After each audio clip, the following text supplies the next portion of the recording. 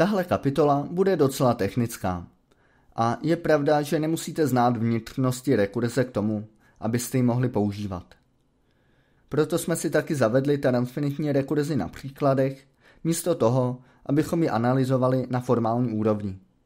Ale na druhou stranu je porozumění formální stránce rekurze poměrně základní součást teorie množin. Jedná se o onen most mezi dvěma rolemi teorie množin, teorií nekonečná a základy matematiky.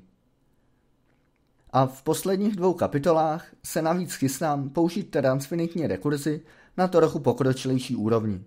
Takže i když myslím, že následující kapitoly můžete pochopit i bez znalosti formální rekurze, měla by tahle kapitola na pomoci dojmu, že je to formálně podložené a že to není jen nějaké mávání rukama. Celá tahle kapitola bude o podrobnějším rozboru jednoho jednoduchého důkazu z čtvrté kapitoly. Vzali jsme si tam uspořádanou množinu a v ní pak nějaký neprázdný koncový úsek takový, že žádný jeho prvek není nejmenší. Chceme dokázat, že se v takovém koncovém úseku dá najít nekonečná klesající posloupnost. Samotný důkaz je docela přímočarý.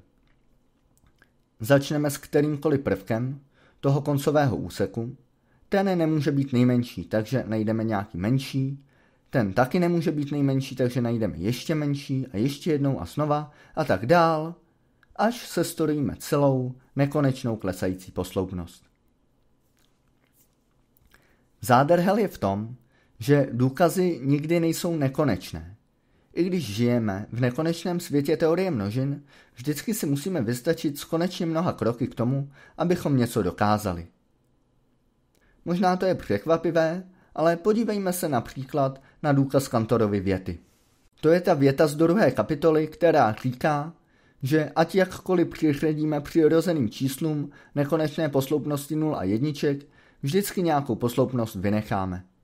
Důkaz vypadá zhruba následovně. Podíváme se na prvky na úhlopříčce, to je jeden krok. Z těchto prvků postavíme posloupnost, to je druhý krok. A nakonec tu posloupnost překlopíme, to je třetí krok. Na tři kroky jsme se storili posloupnost, která neodpovídá žádnému přirozenému číslu. Ne, že by ty kroky teď přesně odpovídaly axiomům, ale šlo o to demonstrovat tu myšlenku, že s nekonečnými množinami se dá manipulovat hromadně. Ale jak bychom mohli do souhrných kroků přeložit postupnou konstrukci klesající posloupnosti? Jak se vypořádat s faktem, že se jedná o postupný proces? Celá ta klesající posloupnost přece nevznikne najednou. Hold musíme být o něco mazenější.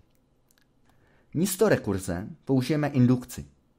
Indukce je důkazová technika, při které stačí ověřit, že nějaké tvrzení platí pro n rovno 0 a že když platí pro nějaké n, tak platí i pro n o jedna větší.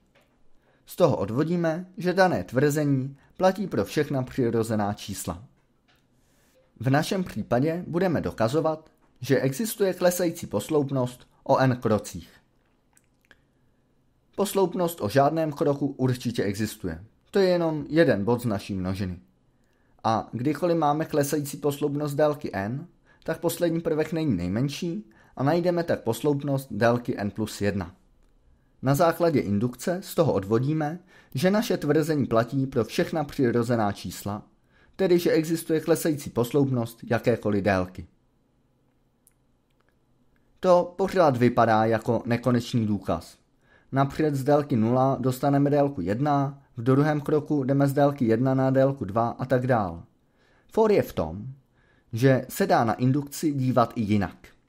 Matematickou indukci můžeme totiž kdykoliv formulovat jako obyčejný důkaz sporem. Vezmeme si omegu, množinu všech přirozených čísel, a všech přirozených čísel se zeptáme, milé číslo, existuje klesající posloupnost tvojí délky? To je jedna operace, konkrétně axiom vydělení, nám rozdělí naši množinu na čísla, která odpoví ano a na ta, která odpoví ne. Nula odpoví ano, jednička odpoví ano, dvojka odpoví ano, ale je možné, aby některé číslo někde vzadu odpovědělo ne? Musíme dokázat, že se to nestalo. takže pro spor budeme předpokládat, že se to stalo a ukážeme, kde se to rozbije. Jakmile by neexistovala klesající posloupnost délky 678, nemůže existovat ani žádná delší klesající posloupnost. To znamená, že záporeně odpověděl nějaký neprázdný koncový úsek omegy a kladně nějaký vlastní počáteční úsek. No jo, ale množina přirozených čísel je dobře uspořádaná. Takže najdeme první číslo n, které odpovědělo záporeně. Všechna menší čísla, včetně n-1, odpověděla kladně. No a to je spor, protože když číslo n-1 odpovědělo kladně, tak jsme už dřív dokázali, že tak muselo odpovědět i číslo n. Po konečně mnoha krocích jsme dostali spor. Takže náš počáteční předpoklad nemohl platit a všechna čísla odpověděla ano. Existuje tedy klesající posloupnost jakékoliv přirozené délky. Teď to může vypadat, že už jsme vyhráli a máme nekonečnou klesající posloupnost. Ale není tomu tak. Použití indukce na místo rekurze nebylo zadarmo. Chybí nám něco na způsob limitního kroku. Z indukce jsme vyvodili, že pro každé přirozené číslo máme klesající posloupnost dané délky. Ale ten obrázek nevypadá přesně takhle.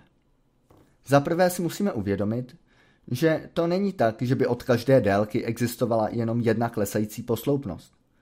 Třeba čtyřce nenáleží jedna konkrétní klesající posloupnost, ale celá množina všemožných klesajících posloupností délky čtyři. A to též platí i pro ostatní délky. Pro každou délku máme celý balík klesajících posloupností. My chceme mít všechny ty klesající posloupnosti najednou, takže použijeme axiom nahrazení.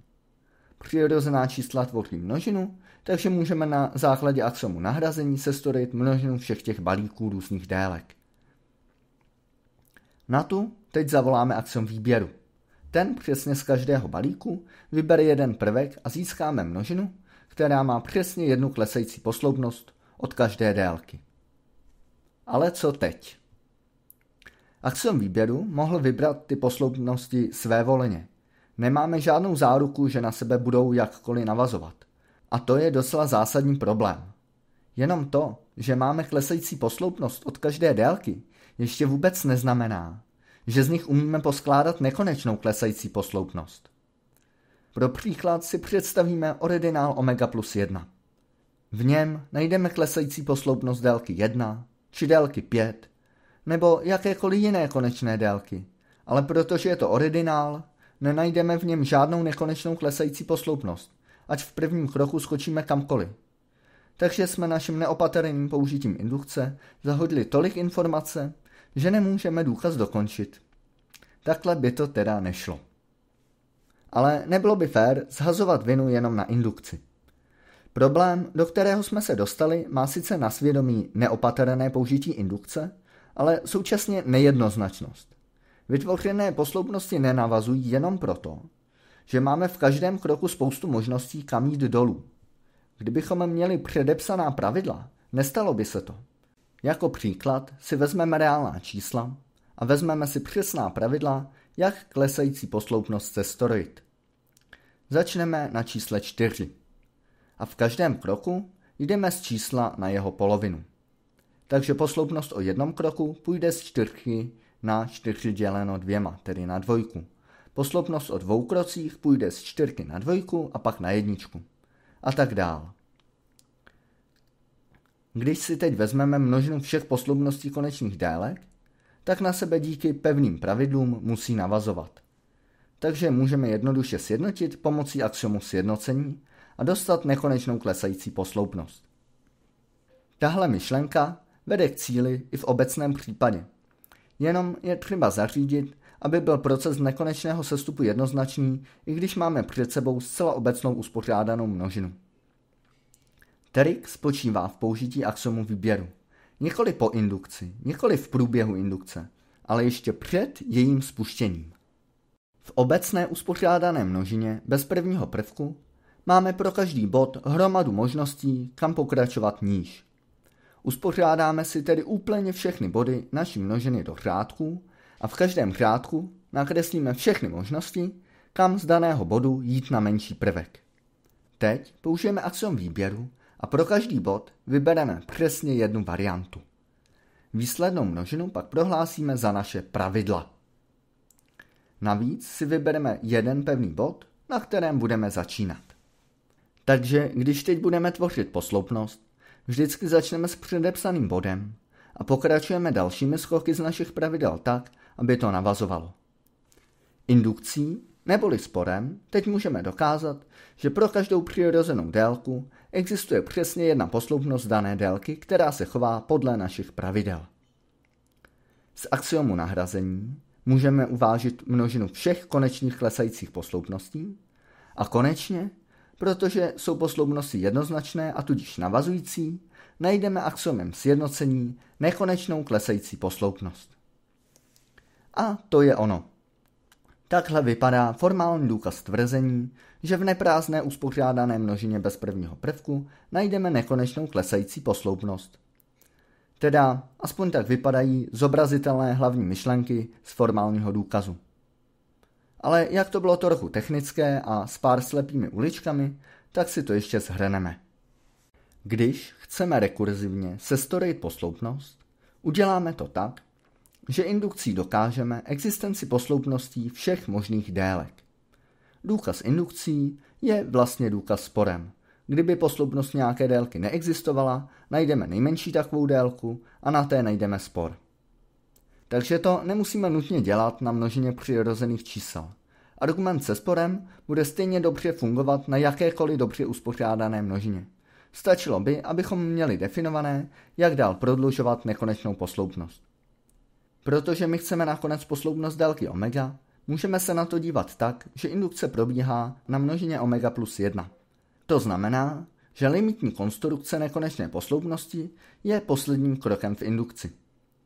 Ale aby takové limitní kroky fungovaly, potřebujeme, aby byla posloupnost určená jednoznačně. A to nám zajistí axiom výběru, použitý ještě před spuštěním samotné indukce. Celému tomuto nástroji se říká transfinitní rekurze s výběrem. Matematici jej typicky používají bez toho, aby se příliš starali o vnitřek, jelikož je její používání přirozenější než ten formální význam. Hodí se ale vědět, že transfinitní rekurze s výběrem nestojí na vodě. V další kapitole uvidíme tenhle nástroj v praxi. Konečně se nám povede dokázat, že každým dvěma množinám můžeme porovnat jejich mohutnost a odvodíme si základní věty teorie množin, jako Soronovo lema a princip dobrého uspořádání. Naschle příště.